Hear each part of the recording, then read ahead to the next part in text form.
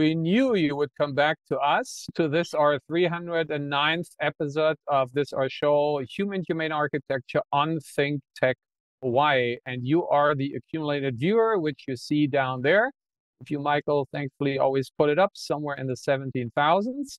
And this happens to be our eighth time that we're looking back at Lahaina already remembering Lahaina, as we call it, because you, DeSoto Brown, from your Bishop Museum, uh, where you work as a historian, hi DeSoto. Good day, everyone. Um, you know, you have been um, again um, uh, introducing us to begin with to the history of Lahaina. And then also you went out there to show its current situation, which is unfortunately all leveled by the fire. And then with uh, you, Martin Anzellini, hi, welcome back. No. Um, you help us to get the spirits back up again because of some interesting suggestions here, how to rebuild. So we're back to that. And uh, let's start again having the shows, uh, the, the, all the images running through as we're already doing. So thanks, Michael, for that. And for you, the audience, they're numbered at the top left. So whenever you want to go back, and you want to rewatch the show and slides we're referring to, you just you look at the number at the very top left. So which will which will run through towards the end more, but I want to talk about what you will see on slide 42, 43, and 44. And this is getting us back to something DeSoto in our front yard, which is uh, Rainbow Drive, and particularly the new canopy that they have been building that Jim Gisakuma, who's uh, the founder of Rainbow Drive, has been building there. And it's actually, uh, until now, people might say, well, do you have anything to show that's anywhere close to what you guys are suggesting? And I throw this out for discussion. Why is Rainbow Drive pretty close? Guys, and DeSoto, you especially, because it's in your front yard, as it's also my front yard. That I, by the way, you said kindly, I look much better. That's why I basically got out of my closet bathroom, which seemed to be uh, the lighting too bad. And now I'm, thanks to my school, on a new computer, and I'm here in the uh, which is uh, bedroom and uh, also kitchen and also living room and also studio all at the same time which is also going the direction, Martine, you are going, but this is still too hermeticized and too, um, I guess, territorialized that you will break free even more. But DeSoto, how about explain to everyone, uh, which you, the audience, will then see on 42, a little bit what that new uh, canopy is down there in your hood? Well, Rainbow Drive-In has been in business for a great many years since the 1960s, and obviously, when it was built, it was certainly not forward-looking with any type of modern technology because we didn't have solar technology at the time that it was built.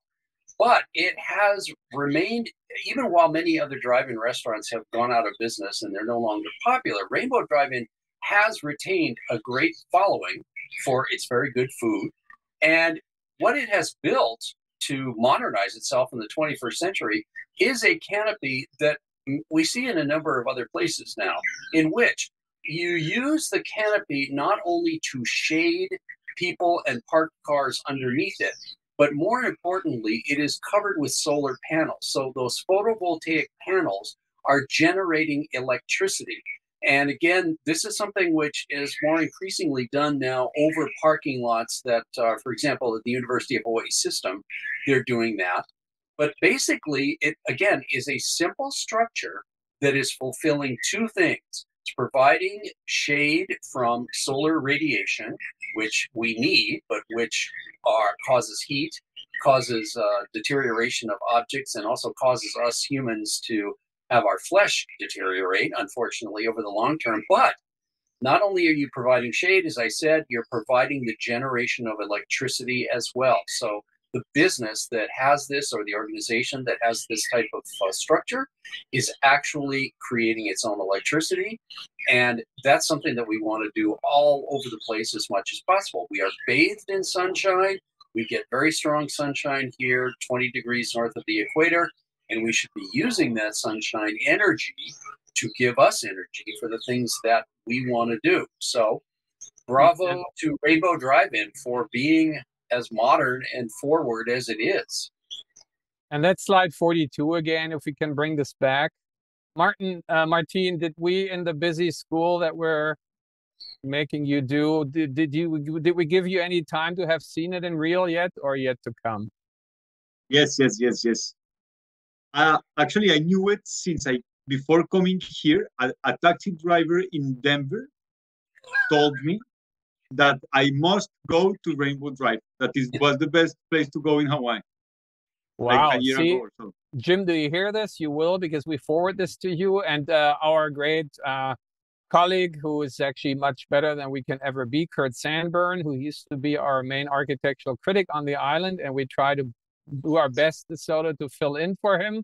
And he once reached out to me and said, Martin, what's actually the best architecture on the island? And then we agreed on on it being that because it is Hmm. so to the spot, right? And in addition to the sort of what you rightly so said, yes, it has photovoltaics on the roof, but it has it in the most fundamental way because usually you build up a roof uh, of structure, which you have here too, but then you build a roof membrane. That one you actually have to destroy and poke through again to attach the substructure for the photovoltaic panels. Well, here, and this is again uh, bad news for us architects as in training and being trained and accredited and being licensed, because this project that didn't need us. It just needed Jim with the idea, and he reached out to people who do it, and they all did it themselves. And they said, because they're not, you know, they're free of the Beaux Arts BS that architects sometimes have. It just said, well, let's collapse all that into one. So actually, the panels, the photovoltaic panels, are actually the roof membrane as well. And here comes the point: some it's not absolutely tight. So sometimes when it rains, there's a little bit dripping through. But slide 49, if we can get this back, uh, DeSoto, if if you would have your roof open in your main hall in in Bishop Museum, uh, 49 slide, I mean, uh, yeah, then um, uh, you know Don Hibbard taught me that the missionaries were complaining that the indigenous houses actually was also not absolutely watertight. But then the thing is, why would it have to be, right? Because if you have temperate climate and you have temperature differentials and, you know, cold and warm, then you get the dew point, then you get condensation, then you get mold, all these things we don't have here. As long as the our trade winds can breeze through, they will dry out humidity and water immediately. So that's to be considered uh, as well, right? So um, these people there that you see in 42, if we can get this back, I found it great because COVID, as we know, changed many things. And the good things we had before COVID, sometimes we didn't have them back yet. So he had, if you watch the show, that show quoted up there, um, we uh, he had it all. He had it for people, for plans, for electric charging cars, for everything. And the seating, Jim, unfortunately, or he's retired now, but his you know people uh, never brought it back. These two uh, people here, locals, uh, father and daughter, just brought the table on their truck and put it up there. And I said, "This is awesome." And I took a picture, and she caught me, and she said, "It's only ten bucks I owe her." Great sense of humor. But on a on a more sad note, she said, "Well, you know, this is, you know, where are you from?" And I said, "From Germany." And her dad got excited because he was stationed in Germany back then. But the, she said, "Well, now he's losing it. He has, you know, dementia, and uh, it was probably his lifestyle." She said because he was on the street, he was homeless, and so we started talking. And and she basically said, "Well, are you guys with Howard Hughes?" And I said, well, we wish so if Howard Hughes would listen to us. But as of now, we're more on the other side, uh, only because Howard Hughes doesn't want to listen to us. And she also said, well, are you are you for smart cities? So let's talk about smart cities a little bit because that's a great fear of that's lingering out there and only comes through here and now then and in conspiracy theories. So let's address that a little bit, the smart city point. Martin, you want to take a stab on that one? Uh, today, the Internet of Things allow us to to manage some systems of the city uh, in a more efficient way, and this is something that we can, uh, uh, reinforced concrete uh, allowed us 150 years ago. Now we have technology to deal some systems of the city, which is great. No, we can uh, generate uh, control water management in a more efficient way. We can control electricity and energy management. too. we can uh, predict uh, events such as climatic events and so on. This is great. Uh, but very easily, and this is already happening in, in some countries, it can be almost a, a, big brother effect, no? on which we don't even know who's the big brother, no? Uh, which is not good. Which is not good because uh, when cities are, we were talking about Detroit uh, uh on on on the, the, last session, when uh, cities are controlled by just a, a few corporations, let's call them corporations. Uh, cities die when these corporations just decide to go away or to or to make them die cities are for people and this is not something that you can and you should not uh, want to control so uh, smart cities should uh, help uh, make more efficient some cities uh, systems of the cities but should not pretend uh, to have an overall control of, of, of what is happening no? Uh, yeah now it, for it, the yeah it could be just to add on that one. I mean, it could again be capitalism, as you said, that drives it, that runs it, that controls it, or it could be political regimes, right? I mean, it could be China. You see people on the streets here with signs up and says China is a smart city, and that's expressing their fear. And that's the daughter's fear, who, by the way, is a musician. You see on the pickup truck a huge instrument that she's playing and so she said, you know, my dad is in the mid 60s and I'm in my, you know, early 20s and I I'm afraid of all these things. And but she is then, you know, although she was suspicious of me and, you know, it's interesting once you say I'm an architect, you know, then there's some people think that's what you do. And if you look around in, in Honolulu, unfortunately, that is what architects do, right? So we have to face that we got this bad reputation that we are complicit to all these things that don't help the little people, right? And we go to the next slide because this is another touchy thing that here you see. The other thing she said, Oh, are you with Oprah? So what could she have meant? DeSoto, you want to maybe give it a guess? Well, this whole thing has been very strange to me. Uh, Oprah Winfrey and Dwayne Johnson are both very wealthy uh, celebrities. And after the Lahaina fire, they both stepped forward to start fundraising for rebuilding and for the needs of the people who've been affected. And instead of this being openly praised and them getting getting uh, good feelings out of this, people immediately said, "Wait a minute, you're not doing enough, or you're trying to get money out of us when you've got so much money." And it it turned into a real backlash, which I still don't quite understand. However, the, the what we just talked about right before the show got started was well these two celebrities with a great deal of money what could they do in addition to giving their own money and raising money? And one of the things that you said martin was what about if they purchase property? What about if they purchase land which can then be turned over to the individual people in lahaina who need places to live or need to rebuild their businesses or something like that and let those people decide what they want to do and how they want to do it. And this is the bigger question about Lahaina's reconstruction, which is what we've been talking about. How does that occur? And how does that happen in a way that is both um, sustainable as well as what people want, the way people want to live, as well as all of the other considerations about private property, public property, um, the other things about withdrawing from the shoreline as the ocean level rises, all of those huge considerations have to come into play. And maybe we don't need celebrities directing it, but maybe we do need celebrities giving assistance to it and providing their power and their money to further those types of goals. Well, and in fact, in addition to, you know, I think you just came up with something that could be a good compromise because in fact it's it's more specific because both Oprah and Dwayne actually own land in Maui.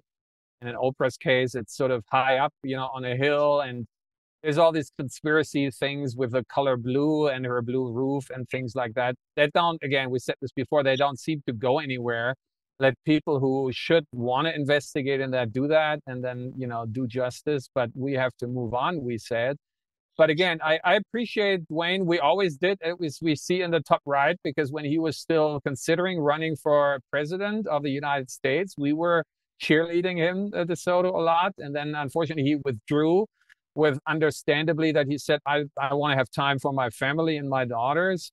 Um, but again, we wish he, you know, would would would reconsider. And what I think would make him a great president is that he has the ability, which, you know, leaders increasingly less have, is to be self-reflective. And as you know, these news here from the local news show that that he says, well, you know, I I didn't think about it how it would come across when I mean well, and I give a lot of money, which he has, but then it's still like people like okay well but you, now you want us to give money and we can't. We because we try to make ends meet and and we can't. So maybe you know it has to stay with you and, and that could be a, the great here to say well you guys who have the money maybe don't have to give your land thanks DeSoto but land because you have enough money you buy other land and then you give it to us and we go from there uh, by ourselves for ourselves and that is the proposition that you martin have been coming up here, and we continue to talk about, rightly so.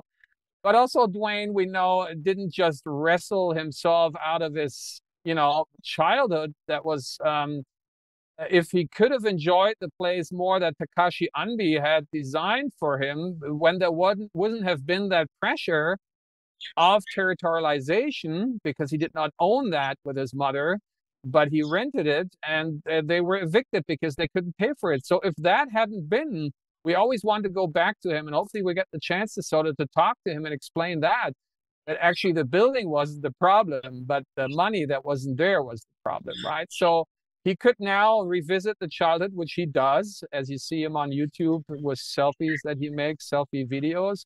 And he'll say well you donate with what you can which is the money and then you empower the people to do something. And me as again the previous having wrestled me out of my poverty but now you know mostly known as uh, one of the most um, you know um, accomplished actors. And that being said, you know um, sometimes we need to dream. You know, and, and that kind of dream, it seems like missing. Stanley Cheng's newsletter came in uh, and and it was reporting that now these uh, these uh, little emergency shelters that are can you know be uh, folded out uh, are shipped in from Europe wait a minute, I'm going back over Christmas with a bad feeling because I'm have a large fossil fuel footprint. So sorry, you know, yours, Martin, can be all made from here and from scratch predominantly. Why do we need to ship in something else? Again, as we do San Pellegrino, or we do the heavy hmm. rail train that come from Italy. But from Hungary, where these elements come, we have Gabor, who was demonstrating in Kailua how to make you know quick housing that doesn't just need to stay temporary but could be permanent out of autoclaved aerated concrete that we know you DeSoto are, are very excited about. So you know having dreams having visions about the things we're talking gets us to the next slide. And uh, you martin explain us. Yeah no um, uh, first let me uh, wrap up uh, what DeSoto was saying about land and you were talking about land. Is that uh, if we are able to acquire land, uh, this land could be used just for reforesting, for example. No? So bringing water, uh, which will avoid fires, that will uh, even uh, on the forest, forest itself or uh, uh, like beside it, and also bring agriculture. No? So we can generate like eatable forests somehow. That also can bring more uh, uh, sovereignty to the to the to the people of Lahaina no? during the reconstruction and afterward. Um, uh, also, maybe just start thinking about parking plots outside the built environment uh, to avoid cars to enter, like public public parking plots if needed, because probably people will, at least tourists, will not need cars to bring here to come here uh, with a good public transportation system. No, um, Martin was talking about Encanto, the the the movie that I was uh, lucky to be advisor of. Uh, uh, and uh, uh, and what happened with Encanto, which is a beautiful, let's say, cinematographic scenario, is that everything everything was happening in a house. At, at the end of the movie, the house got destroyed, as have happened many times in my my native Colombia. Uh, many natural disasters. Colombia is the fourth country, more more vulnerable country uh, in terms of, of natural disasters after Philippines, India, and Mexico. Um, uh, and uh, so we are very expert on rebuilding. Uh, uh, there are some very interesting cases. Uh, and what is happening in the house is that the building was made by the community. There is a beautiful word, word that is called minga. And a minga is uh, a moment on which the whole community gets together to, re- to, to do something. For example, to cultivate or to harvest, or as it happens in the movie, uh, uh, to rebuild the, the house, which is uh, kind of uh, as a very like neo-colonial house, blah blah. Also evocates an informal settlement, a slum, which is very common also in Colombia, uh, and, and then what it's, it is happening here is that every room is a scenario. Uh, and there is this room of Antonio uh, on which there is this magical tree full of, of, of life. No? The, the tree works as, as a house.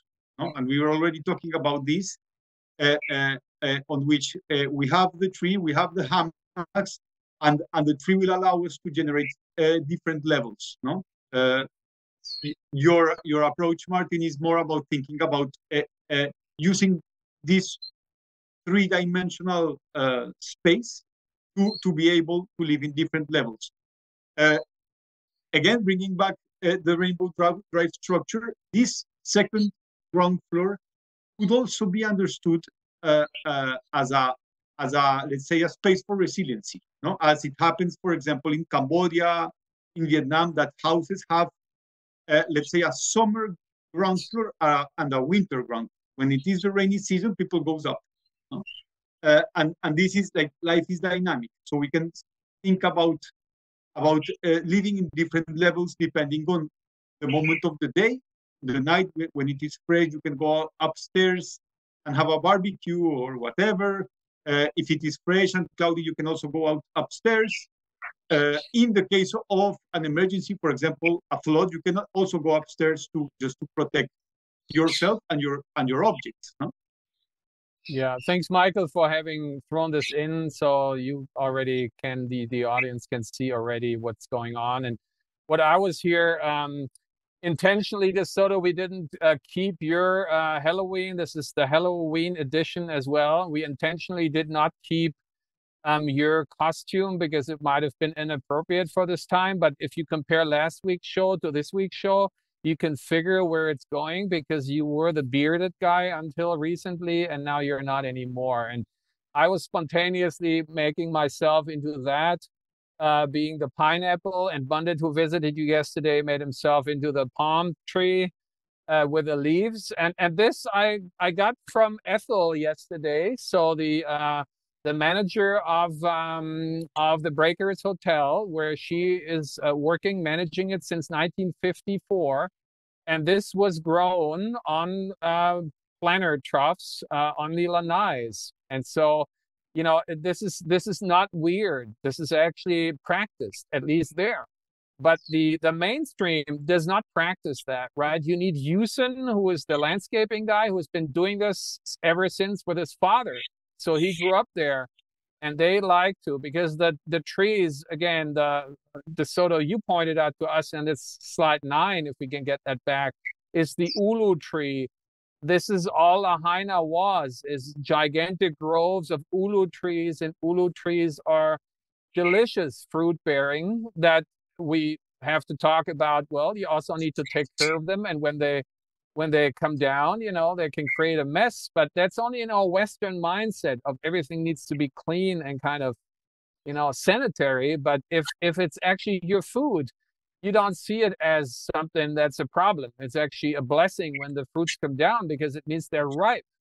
And you know, I've once at Howard Wick up there at a party, you know, someone sliced them thin and and roasted them. I never had that delicious chips, and that's just you know, that's not even the, the basic food. You can make tons of stuff out of that. So that is uh, definitely, you know, that to be added in, into the scenario.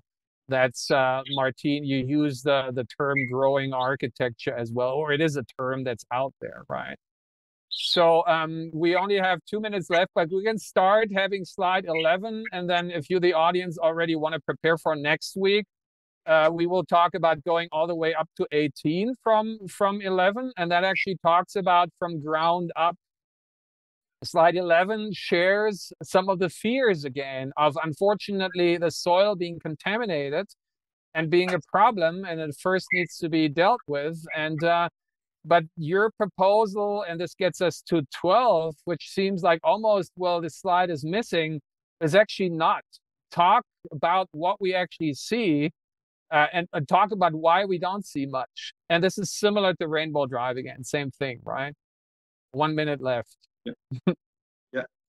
Uh, what, what we can, I mean, if we go to the following slide, is that these two cases on weathers uh, similar, more or less, how and uh, to Hawaii, a little bit more humid, but tropical weathers. These two fantastic uh, projects uh, on which architects forgot shadow, basically. Uh, and what is happening here, I took those photos myself, and you see this mm, the, right in the downtown of these huge cities, in the rush hour, there is no people. Uh, why? Because you cannot be there. Only if you are an architect taking picture, pictures. Uh, so we have to, uh, uh, again, and we can uh, uh, uh, take from there later, but to provide open ground floors and, and covered spaces for, for, for the public. All right. With that, hold that thought because that's where we pick up from next time again. And until then, please stay fantastically fundamental, fundamentally fantastic. See you next week. Bye.